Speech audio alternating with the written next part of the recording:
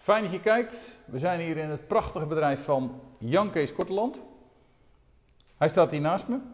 Kerstverse wereldkampioen. Van harte gefeliciteerd. Dankjewel, welkom Danny. En eh, ja, dat is, dit is de boot waar het om gaat. Klopt. We hebben net naar een andere boot gekeken en die is te koop. Ja, zeker. Deze eh, moet je vanaf blijven, maar die, eh, die, Die- is zeker te koop. En een hele mooie kleur trouwens. Dankjewel.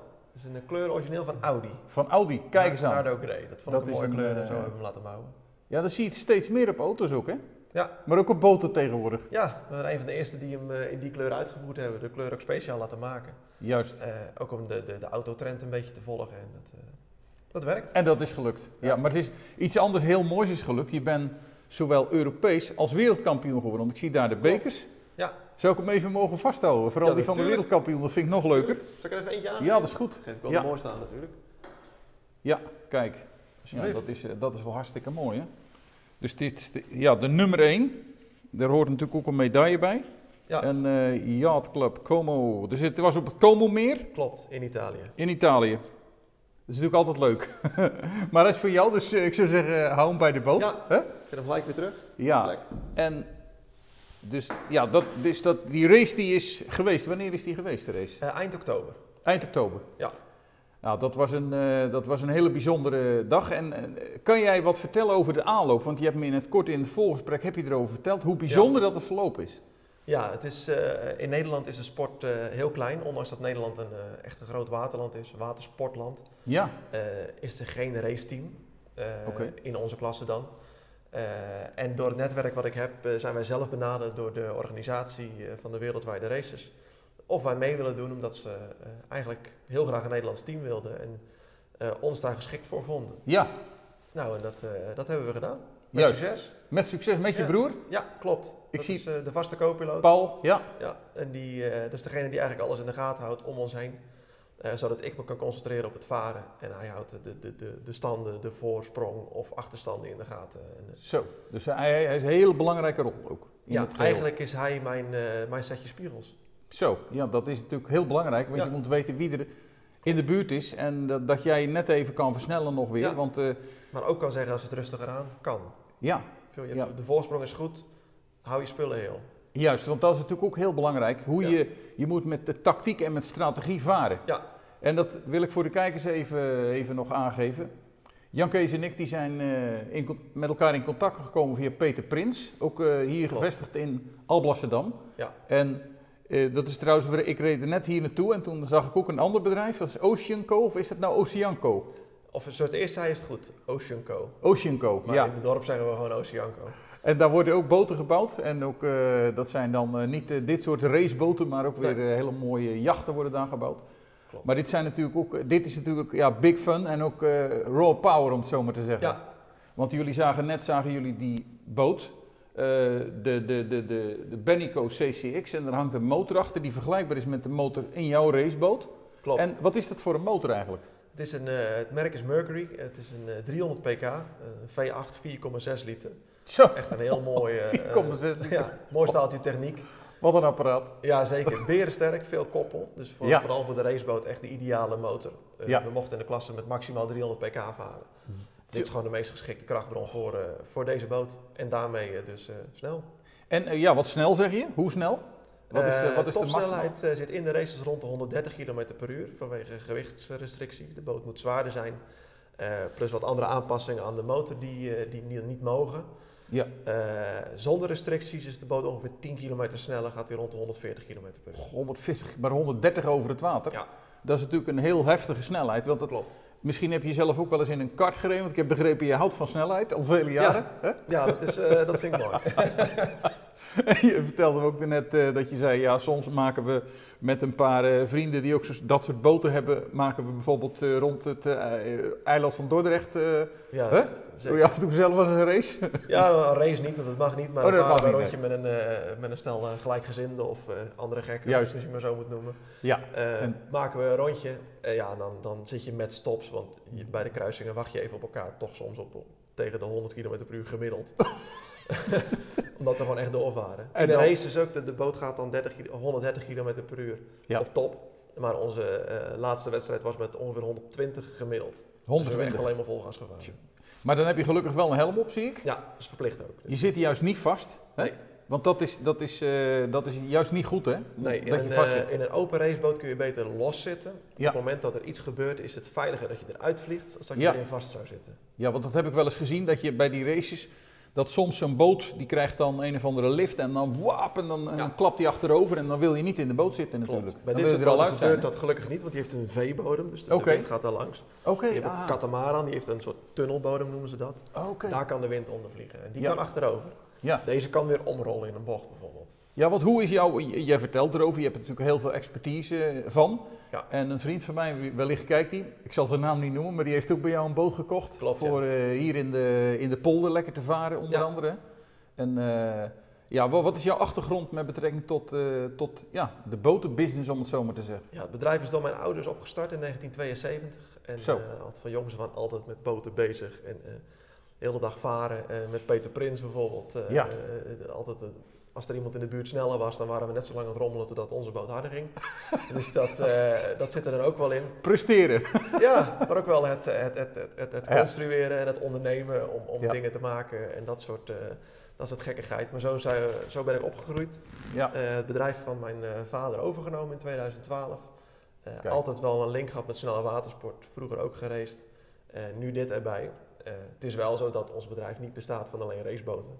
Eh, het meeste wat we verkopen zijn gewoon eigenlijk de, de, de sloepen voor de binnenwateren. ja, Eh, veel losse buitenbolmotoren. We doen onderhoud voor politie, Rijkswaterstaat.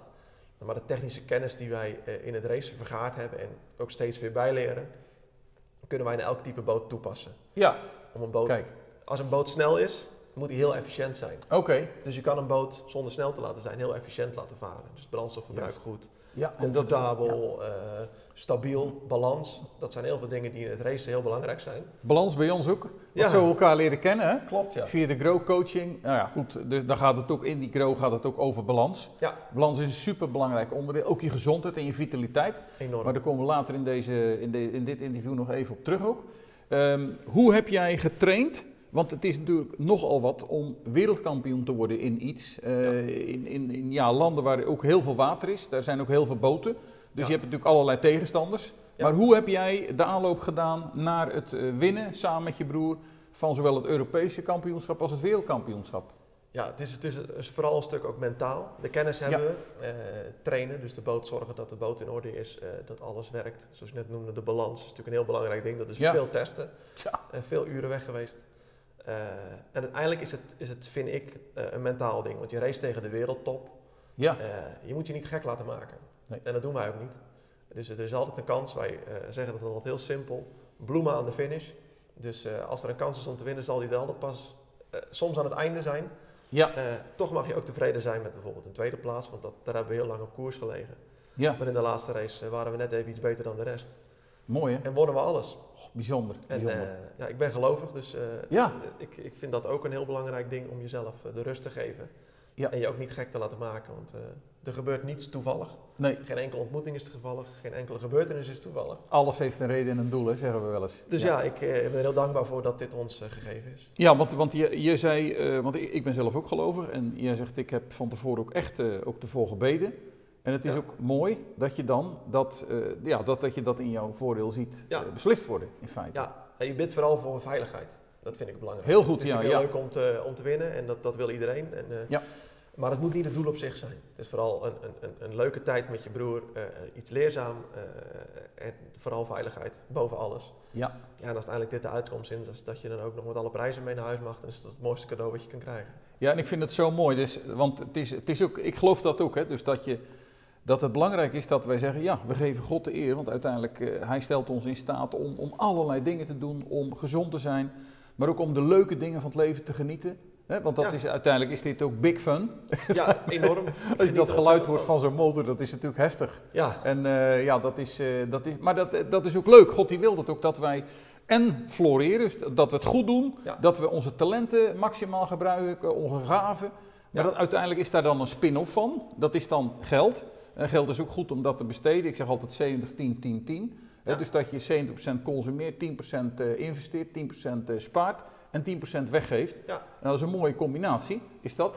En eh, ja, in, in dit geval is het ook ik vond het toen jij het zo vertelde een verhaal uit een jongensboek, want je had eigenlijk ook een afgekeurde helm nog. Ja, klopt. Hoe, hoe, ging, hoe was dat dan? Nou, de helm die ik had, stom niet over nagedacht, die heb ik al een tijd. Eh, die is nog uit mijn vorige racecarrière. En Ja. eh, die werd in de andere klasses gewoon altijd goedgekeurd. Oké. En nu opeens, ik had het kunnen weten als ik het ruleboek goed gelezen had, maar dat eh, hoofdstuk heb ik waarschijnlijk overgeslagen, eh, miste de helm die ik had een bepaalde keuring. Nou, dan komt meteen het veiligheid weer naar voren. Ze zeggen ook van, we kunnen een hoop door de vingers zien, maar dit niet. Dit niet. Die Safety helm moet goed zijn. Safety first. Geen goede helm Mooi is dat. is niet starten. Ja. Dus ja, daar sta je dan, duizend kilometer gereden, het idee dat je hier hoort te zijn. En dan zou je niet mogen starten. Ja. Ja, dan zit je toch op zo'n punt van, het zal toch niet? Maar toch heb je dat gevoel van, er gaat een helm komen. Ja. En eh, niet heel veel later kwam eigenlijk bij ons... Weer gebeden. Ja, bij onze concurrent. eh, terwijl het een kleine wereld is, dus het hoeft niet per se eh, je grootste tegenstander te zijn. Ja. Daar kwam ineens een helm tevoorschijn. Die had een reservehelm bij zich. Ja. Er zat alleen geen intercom in, dus we konden niet communiceren in de boot. Dat maakte het wel lastig. Oh, dus je kon ook nog niet communiceren. Want dat is natuurlijk. Nee, maar ik had in ieder geval die helm. En denk ik, Ja. dat, eh, gas. Want toen ik met motorrijles eh, had ik contact met degene die achter me reed. Ja. Via zo'n intercom. En dat is dan toch wel heel fijn dat je toch eventjes. Ja. Maar je kon met handgebaren en zo en Ja, toch klopt. kijken en, en Zo'n alles. intercom kan ook uitvallen, het blijft techniek. Eh, Er komt natuurlijk water overheen en dat soort dingen. Ook Dus nog. Ja, wel, eh, Ja, eh, al handgebaren en dingen afgesproken. Aangezien mijn broer achter mij zit, was het een soort schouderklopjes. boot links, boot rechts. En maar dan kon hij ook zijn hand voor mijn gezicht houden of wat dan ook. Dus Ja. het was behelpen. Maar ja, de eerste race werden we direct al tweede. Zonder het eigenlijk te weten, want we hadden zoiets van ja, het was slecht weer, slecht zicht, Ja. geen communicatie. Dus maar zo hard mogelijk gevaren. Hè. En, eh, toen Gewoon gaan. Als, als tweede binnen. Ja, gaaf. Dus ja, toen dachten wij, van, ja, als dan de spullen wel een keer op orde zijn, dan zit er dus meer in. Ja. En toen kwam de volgende race. Ja, eerst een helm wezen kopen ergens. Helm. Ja, belangrijk natuurlijk. Want die had die geleende helm, die moest toch ook ja, die weer moest ik terug natuurlijk. terug. Dus dat, eh de Ja, helm kopen gaaf. en de volgende races hadden we gewoon de communicatie en beter weer. Ja, en dan, eh, Oh, dan heb je ook het vertrouwen, je weet Ja. dat je het kan en dan, eh, dan ga je er op een hele andere manier in. Dus dat je Ja. eigenlijk met 1-0 achterstand begon. Maar we, hebben het, we hebben het goed afgerond. Echt te gek, joh. En dan hoor ik nou jou ook nog zeggen van, joh, we zijn nog gesponsord door volgens mij Bennico. Ja. Dat is dan deze boot, is, dat is een boot van Bennico. Ja. Die hadden zelf een team, die, hadden, Klopt. die waren helemaal...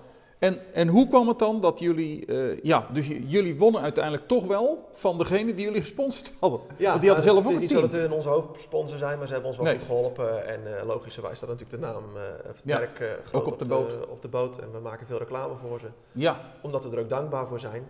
Maar uiteindelijk hebben hun een fabrieksteam, ja, eh, groot uitgepakt, eh, veel reserveonderdelen bij zich, zelfs een extra motor, cameraploeg. Ja, en dan stonden wij daar met een partytent en een, en een verlengsnoer. ja, ja, ja. Oké, dus ja, we vonden het ook helemaal geen schande om van hun te verliezen. Eh, maar ja, de sport is ook helemaal een technische sport, is het heel houden van je spullen. Ja, ja, precies. En de laatste race waren hun op ramkoers om, om eerste te worden. En Zo. wij stevig tweede. Maar ze kregen problemen met de motor. En dat en, is... eh, daardoor verloren ze snelheid. En wij konden de koppositie in de race overpakken. Dus we konden de race winnen. Ja, en dan gaat het ook op zo'n moment kijken, ja, hoeveel, hoeveel voorsprong kun je proberen te pakken op de leider in het klassement. Juist. Wat dus Bernico zelf was. Ja, we hebben daar twee rondes op kunnen pakken, doordat hun geen snelheid meer hadden. Ja. Maar ze hebben hem wel uitgevaren, want een ander kan ook pech hebben. Dus Ja. ze zijn tot het bittere einde doorgegaan. Dus die strijdlust die vind ik echt eh, heel bewonderenswaardig. Ja, Maar wij hadden dat ook zij doorgingen. Ja, Ja. ze geven niet op, wij ja, dat- niet uiteraard. Daar zitten, daar zitten ook hele mooie leiderschapslessen in. Hè? Want eh, jij zegt eh, tot het einde toe doorgaan. En ik hoorde jou net zeggen, je broer die eh, moest het in die eerste race doen met schouderklopjes. Ja, ik dacht gelijk vanuit mijn professie, het is belangrijk dat je met mensen goed omgaat. Dus als je iets doet, als zij iets doen wat goed is, dan waardeer je ze. Nou, Ja. Schouderklopjes, momenteel is het mee knikken. Ja. In verband met de anderhalve meter toestand. ja, Maar het is wel zo dat dat, dat zijn allemaal van die lessen. Het doorzettingsvermogen om te kijken naar je doel. Uiteindelijk heb je gekeken. Ja, je voelde dat, eh, dat, het, dat het kon. En je was al heel hoog. Ja. En uiteindelijk gaf het toch wel weer uit hand. Dat je zei, nou ja, als het zo mag zijn dat wij eh, nog... eh, geeft u ons dan de plaats die wij mogen, Ja. mogen krijgen deze dag. Hè? Ja. Dus in combinatie dan ook weer met de samenwerking. In jouw geval ook met God. ja, zeker. Mooi. Ja, dankjewel. Ja, dat is inderdaad heel erg mooi. En nou is mijn vraag, wat doe jij zelf om... eh, ke- we, we- we hebben natuurlijk tijdens onze sessies met coaching hebben we het ook erover gehad van hoe leef je als mens. Ja. Eh, want je, je, staat, je gaat door allerlei uitdagingen heen als bedrijf. En, en, en daar hebben we het ook over gehad. Ook in jullie geval is dat zo. In heel veel gevallen van de mensen waarmee we werken is dat zo. Dat er, er zijn altijd uitdagingen. En dan moeten we kijken naar datgene waar we naartoe willen. Wat is ons doel? Hè? Ja. En eh, in hoeverre speelt gezond leven een rol in jouw geval? Wat doe jij om gezond te... Dat speelt een hele grote rol. Ja. Eh, Je bent slank, ja, dat scheelt ook. Atletisch gebouwd zeg maar. atletisch gebouwd, ja, je Dus ja, eh, varen is, is, is, Ja. een, is een sport. Werken Ja. eh, is in mijn ogen zeg ik al dat ondernemen is topsport. Ja. En daaromheen moet je fit blijven. Dus ik uh, Ja. winters schaats ik heel veel. Vaak ook wijze zee, dat soort dingen. Alternatieve Oké, dat doe je ook? Ja, ja, dat vind ik prachtig. Ja, dat is inderdaad nou, hartstikke leuk. Gesmolten of bevroren water is als het maar hard gaat. Ja, Dus ja, dat, eh, dat vind ik wel heel mooi. hardgaan, dat is toch wel bij jou Ja, ja. ding, hè? En dan eh, om zomers in eh, goede conditie te blijven, doe ik veel wielrennen. Wielrennen, Ook ja. weer eh, zo hard mogelijk natuurlijk. Gewoon, ja. Geen, we- geen toertochten, want al dat gepraat en dat, dat, dat vind ik niks. Dus laat mij maar een wedstrijd rijden. Focus. Ja, lekker door zo'n peloton heen jakkeren. Ja. Maar ook om je zinnen te verzetten, maar vooral je, je lichaam en geest gewoon scherp te houden. Ja. Eh, daaromheen eh, probeer ik gewoon gezond, eh, gezond te leven, gezonde voeding. Ja, Ik hoorde pas een uitspraak, zorg dat voeding je medicijn is, anders wordt medici- medicijn je voeding. anders wordt medicijn... Ja, dat is een mooie?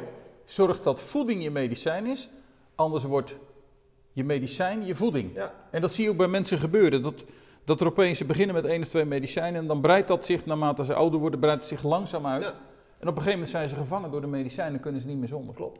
Kijk, En in dat- sommige gevallen kom je, ontkom je er niet aan, maar in dit, Ja. eh, ik, ik, ik probeer gezond te leven en zo Ja. eh, eigenlijk eh, de dokter buiten de deur te houden. Ja, ja. Zo, dan Je word je moet- het oudste en het meest Dat geloof gelukkigste mee, denk ik. Nou, kijk, en in dat kader, om dat te vieren, hebben we, daar zijn, we- hebben we ook over gepraat. Want ik ben in, deze, in, in dit gebied, in de Alblasse Waar, ben ik ooit begonnen met een fitnesscenter met mijn broer Leo.